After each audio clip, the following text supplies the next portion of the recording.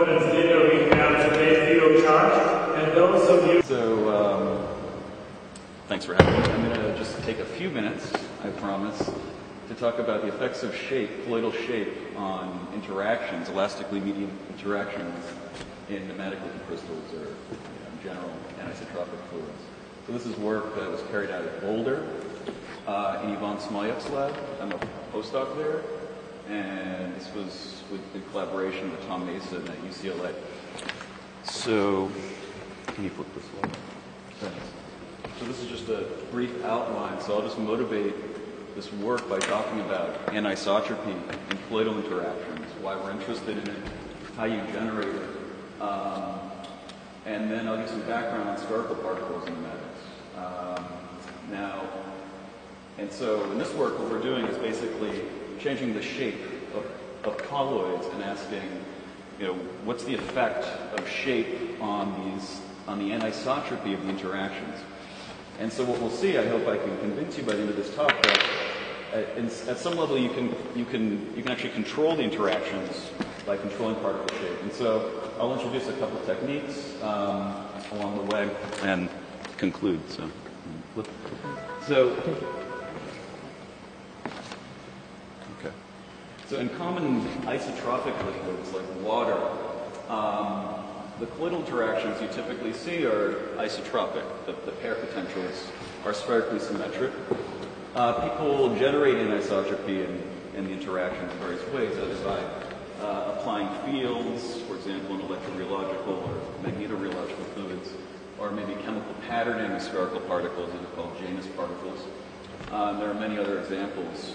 Um, another thing you can do, alternatively, is you can just put your spherical particles into in anisotropic solvent, like a nematic liquid crystal, and you get highly anisotropic colloidal interactions that are mediated by the elasticity of the fluid. And so, you know, this this was sort of pioneered by Philippe Poulin and Dave Weitz uh, on the experimental side, and then Holger Stark and Tom Lubensky on the theoretical side.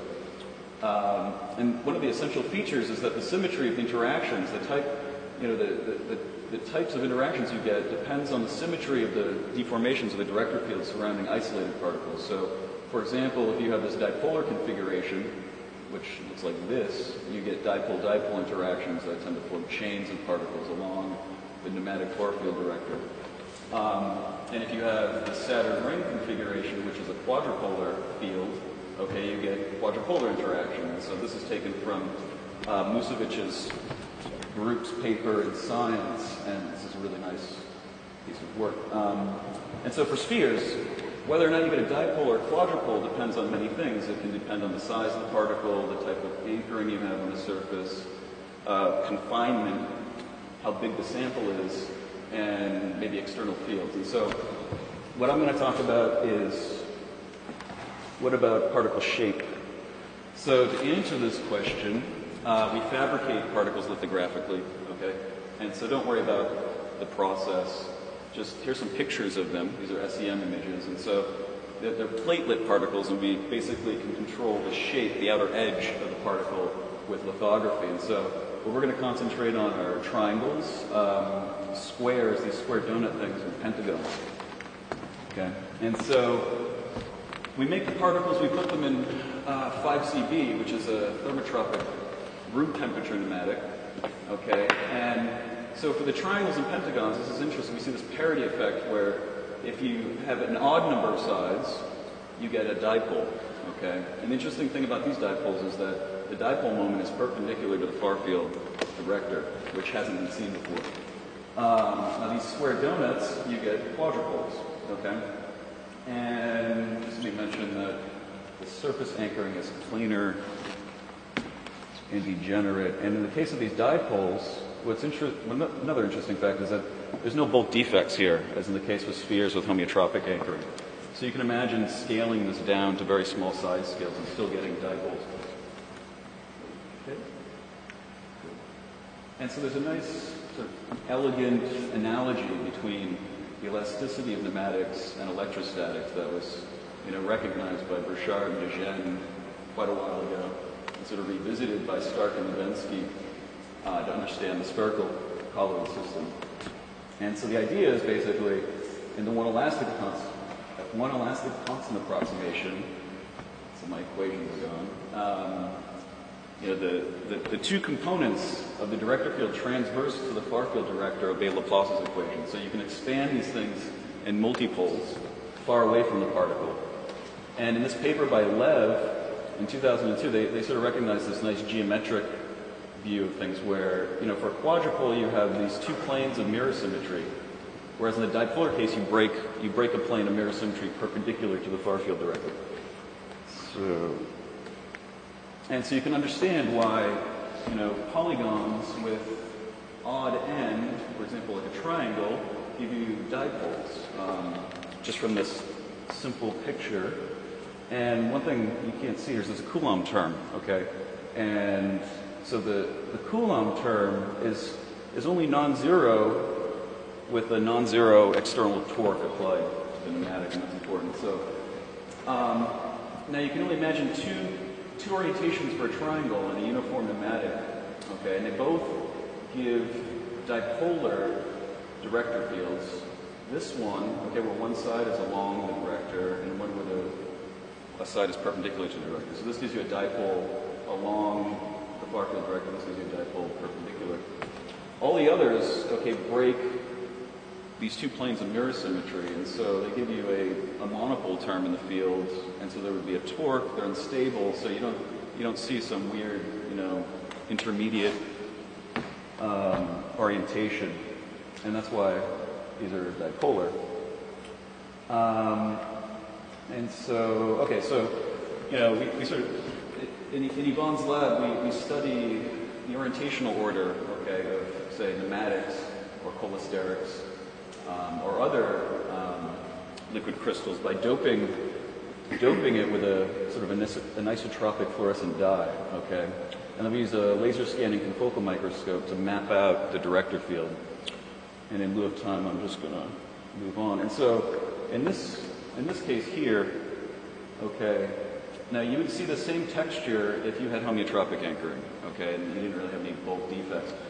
So we use this technique to sort of unambiguously demonstrate that the field is most definitely quadrupolar and that you have planar anchoring. And so basically, this, this arrow here is showing the polarization, the excitation light. You get, you get bright fluorescence from regions where this, the polarization, the excitation light is along the director, the local director. So you see two bright lobes when the polarizer is oriented like this and, you know, it flips when you orient it like this, and then you see a symmetric load pattern when you go perpendicular to the far field director. Uh, okay, and so we use optical tweezing to uh, manipulate particles and fluids, and video microscopy to probe their interactions. And so I'm not going to talk about this in lieu of time, or this, or this. And basically, um, so we can take these particles and grab them with optical traps, okay, and then release them and, and watch them interact, okay, and so and then track their motion, um, you know, by recording video and analyzing the video, and so you know triangles, okay, they form these dipoles and they interact very much like dipoles. So if we have two triangles where their interparticle separation vectors parallel to the far field director, which is shown by this black arrow, and their dipoles are oriented anti-parallel, they attract, okay, just like the dipoles would. If you flip one around, they repel.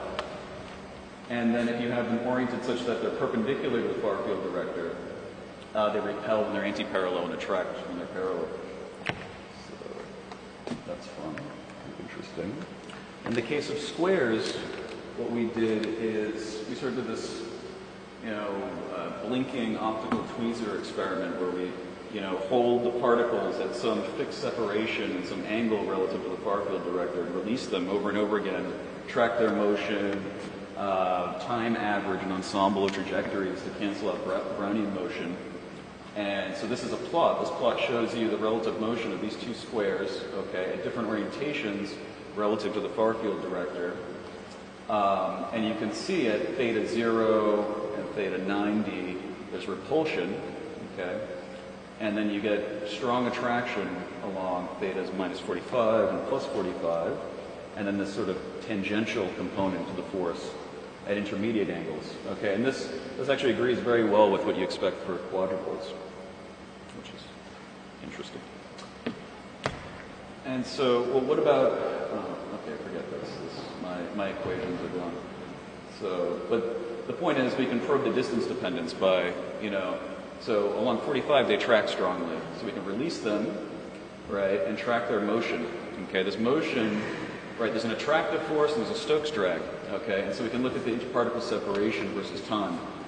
And this, so this data is for three different initial separations of these two particles coming together. And, you know, we can sort of analyze this in terms of a quadrupolar force, which decays like 1 over r to the sixth. And so you can get different types of assemblies. I mean, one, one nice thing about these systems is, right, you get this really nice sort of um, registry between the two particles when they come together. Okay, so you can form dimers, trimers, and this is sort of a symmetric three particle arrangement relative to the director. And it'd be interesting to explore whether or not you know more long range ordered, say, 2D crystals of these things would be possible. And so let me stop there.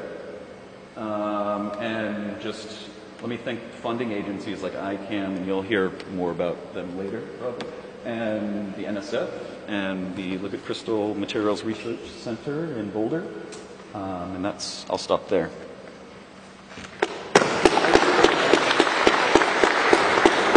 Please, many Don't. questions. Oh, yeah. Come on, please. So, Very Have you tried uh, triangles with non-different sides? oh, like a, a non-equilateral triangle. Yeah, non-equal. No, we haven't, but that's something we plan on exploring very soon. you. Sorry? I think there for for that uh, you you you you see cool like interaction 100 percent. Oh, great. Thanks. Really? Okay, so, sorry, I have to follow. You, you won't see Coulomb interaction. You, you were right saying that before, before external probe is applied. You don't Right. have- It doesn't matter what is the shape. This is my strong opinion. I think you're probably right. Yeah, we wouldn't see cool that interaction. now is the most important. Today uh, I'd like to